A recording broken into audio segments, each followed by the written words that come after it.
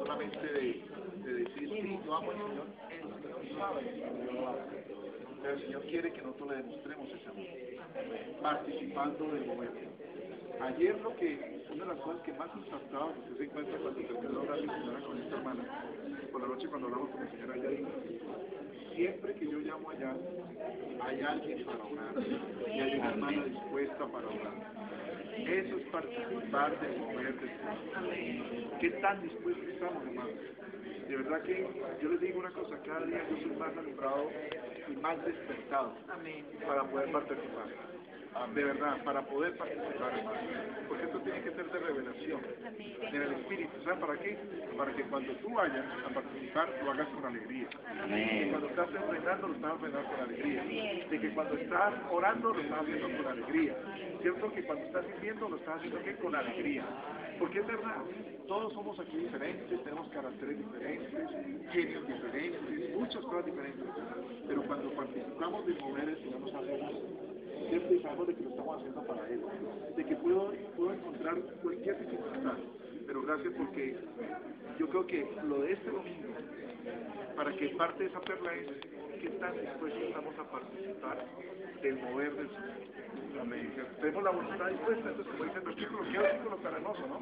Si tenemos la voluntad dispuesta, entonces que cumplamos la voluntad dispuesta. ¿Cierto? Que nuestro sí sea así, no, y que también ojo con eso, porque también puede suceder algo en, el, en la voluntad de uno y en la alma de uno. ¿Sabe cuál es? De no hacer nada. Porque sabe que nosotros como no me quiero comprometer, entonces yo no digo nada. Entonces digo, bueno, yo no estoy así, no, entonces nada más. El otro día yo leía, creo que lo compartimos acá, de un varón que decía, de que usted, su corazón, no quiere ser vituperado, como dice que el Corintios 13 dice que, que, que, el amor todo lo soporta, todo lo puede, ¿cierto? Sí. Pues si usted no quiere sufrir más, entonces ni siquiera entregue su corazón, intente, ni hable, enciérrese en sí mismo, vuelva su corazón en un cofre, que nada pueda entrar ni penetrar. ¿Sabe por qué? Porque usted no está dispuesto. Pero cuando nosotros disponemos a participar del mover del Señor, Hebreos dice que saliendo al campamento, ¿para qué? Para el vituperio. Sí, el vituperio. El vituperio, ¿cierto? Para el campamento tenemos vituperio. Nosotros nosotros mismos no tenemos vituperio, pero cuando salimos vamos a tener vituperio. De todas maneras, vituperio no es simplemente de pronto la palabra soez y grosera, sino vituperio de muchas maneras que van a afectar que nuestra vida, porque nuestra vida es fuerte y nos ponemos bravos, ¿cierto? Y nos, nos identificamos y decimos, ¿cierto? Por dentro decimos que ya que reventamos, ¿y esto por qué? ¿Y qué es lo que está diciendo el Señor? A ver, Amén. soporta el vituperio, estás participando del momento. Sí. Usted se imagina, hermanos, viendo uno así sea, en cualquier localidad, así sea la casa de un hermano. ¿Qué tal que en la casa de un hermano me han dicho casos de hermanos donde usted llega y le dice, hermano, ¿usted a qué viene? O, o simplemente, mire, yo estaba haciendo tal cosa, usted me está molestando, o me, o me despertó, ¿qué vamos a hacer ayer? ¿Cierto? ¿Vamos a, ¿Vamos a participar de ese mujer o no vamos a participar de ese? Amén.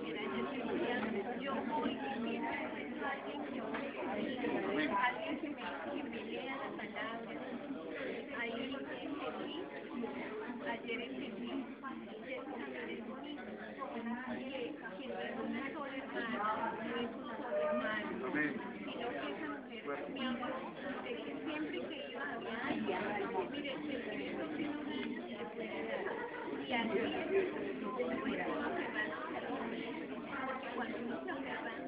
una persona, eh, es mi hermana la que me tiene que hablar, porque si no yo no le creo a mi hermana, o no, o no me parece.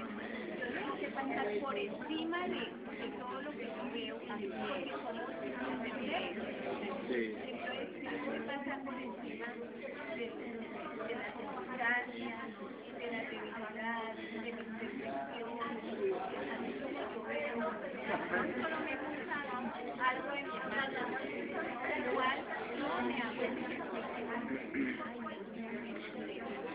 a la hermana que le gustara de mí, porque ya somos perfectos, pero es que bonito es ver al Señor en así es, lo que aporta si yo me gano hermano de responsable, más no me habla eh, con mi esposa. No, quiero aprender a ver todo. Eso es lo que Amén. Ya, hermano, que no ha hablado 30 segundos porque antes de levantarme. 30 segundos cada uno.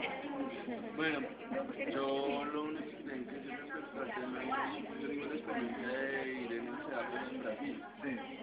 Y yo sé que es uno ir a un pueblo y con el Dios te bendiga y uno con periodismo alimento diario predicar el evangelio y las ofrendas que uno para uno comer, hacer una sonrisita. Sí, que es vivir eso. Y yo no por el otro lado. Realmente Dios no tiene necesidad de ninguno de nosotros de nuestra plata, ¿sí? porque Él es el dueño de todo. ¿sí? Él no tiene necesidad de eso. El que tiene necesidad de darte es uno. Porque, como hablábamos hace ocho días, la fe, la esperanza y el amor. Negar la vida del alma no es decir, ay, a mí me gusta ver una película, me voy a quedar aquí, o voy a abrir la Biblia y no voy a ver la película y estoy dejando mi alma. Eso no la alma. Negar la vida del alma es llenarse tanto del Señor de amor, porque Dios es amor, que eso lo lleva a uno a moverse y a hacer las cosas. Amén. Porque realmente Dios es dueño de todo, el Señor es dueño de todo. Eh, tuve la experiencia de estar en un pueblo inundado y que de repente llega una anciana con tres mil pesos de pan, una bicola y banano para que hagamos ancho de banano y que nos diga que lo tenemos que racionar para tres días porque es la ofrenda que Dios nos da. Dios mueve a quien quiere mover, Él es el dueño de todo. ¿sí? Hermanos, realmente aún lo sé porque lo viví y estoy en conversaciones en las que realmente la ofrenda que se da viene siendo ni siquiera el 50% de lo que realmente se necesita para mover lo que actualmente se mueve. El otro 50% es Dios operando. Y realmente lo único que Dios necesita de nosotros es disposición. Y, y como decía la hermana, ¿por qué el dinero? Porque en donde está tu tesoro, ahí está tu corazón. ¿sí? Y realmente, y lastimosamente, tan capitalista, tan de consumo, que todos estamos aferrados al dinero. Y lastimosamente lo que mueve todo es esa gracia, ¿sí? que llama, ¿sí? mueve los piñones, pero el Señor usa eso como una herramienta. Amén. Y Él no nos necesita de nuestro dinero, Él necesita de nuestra disposición. Amén. Amén. Y aún me atrevería a decir que tampoco es que disposición, los que necesitamos disponernos somos nosotros Amén. para crecer. Porque Él ya lo tiene clara. ¿sí? Que será el proceso suyo. Amén. Hermano gracias. No, disculpe, yo sé que usted dio 30 segundos y hasta ahí llegaba, pero eh, me perdona mi hermano Alejandro. Con perdón, yo quiero saber el nombre tuyo para con- Juan. Juan. Juan David. Juan Andrés. Juan Andrés y Carlos. Carlos. Bueno, este, necesitamos siempre tener de vista algo que ya el hermano Alejandro señaló. Participar del mover. Ahora, cada uno de nosotros necesitamos preguntarnos, bueno, ¿cuál es el mover del Señor? Esa pregunta. ¿Cuál ¿Me han preguntado ustedes cuál cree usted que es el mover del Señor? ¿Cuál es el mover del Señor? A ver, así, a- alguien que diga algo para mí. No, no estoy calibrando ni estoy descorchando. lo que pensamos El Señor de, el Señor, pienso, me corrige. El Señor es un Dios en movimiento. Él no se, él no se queda nunca quieto. Y en el mover que yo siento que Él está es en él. En el mover primero del que tiene sed y hambre de Él, como te compartí esta mañana, Él lo está moviendo a actuar. Él lo está moviendo a sus hijos. Él lo está moviendo a negarnos nosotros mismos para ir. Y lo quiere ya. Ese es el que siento que es el mover actual hoy del Todo Señor. está muy bien. Vamos a ver. Bien. Pero amén, a ver qué más es el mover. Mover, movimiento. La obra del Señor, lo que el Señor está haciendo. Nueva, cada día. Pero ¿qué está haciendo el Señor hoy en día? Está predicando el Evangelio del Reino, que tiene que ver con todo lo que la hermana dice. Porque el Señor no está satisfecho No, con la predicación que ha, no. que ha dado hasta el día de hoy. ¿Cuál es la predicación que se ha dado hasta el día de hoy? El Evangelio de la Gracia.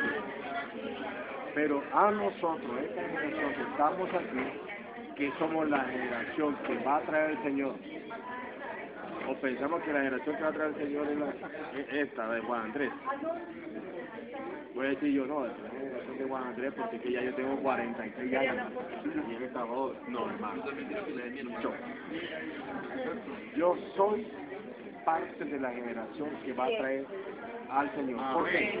Porque si aún yo muero mañana, yo estoy participando de esta generación. ¿Por qué? Porque a nosotros se nos ha dado, como en todas las eras, en todas las eras, a los hombres se ha entregado algo. A nosotros se nos entregó el Evangelio del Reino. Reino. Amén. Amén.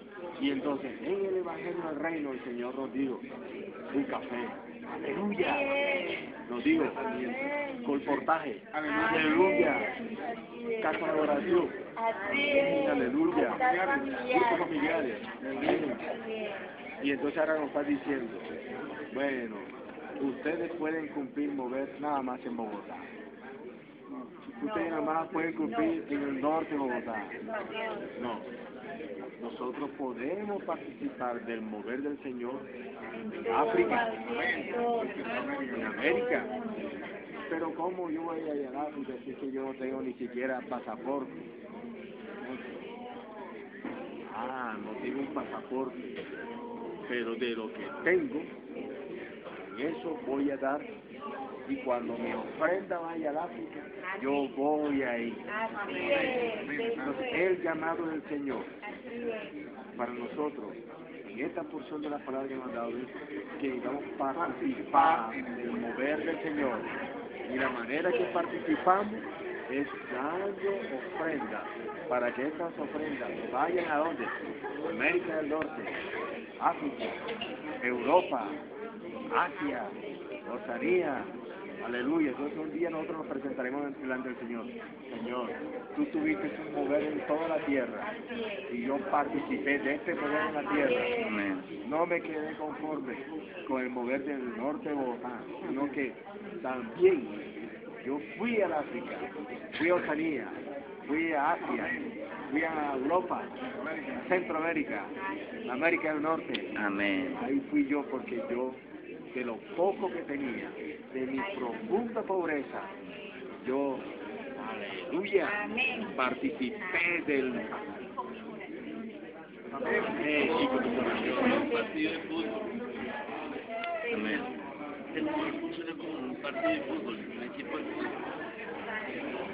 El que mete el gol, por lo general, siempre es el delantero. Sí. Pero quien ganó es el equipo. Así es. ¿sí? Un defensa no se puede llevar solo el balón a meter el gol. Tiene que hacer un pase al centrocampista y el centrocampista hace un pase al delantero y el delantero mete el gol. Nosotros podemos ser defensa. Puede que no, puede que no podamos llegar a meter el gol. Podemos hacer un pase al centrocampista y el centrocampista puede hacer un pase al delantero y el delantero mete el gol. Lo que no podemos ser es espectadores en el Amén, estadio. hermano. No podemos La ser de hermano espectadores en el la vamos a dar ahorita a todas las familias. Amén. Amén. Oiga, Oh. Señor Jesús.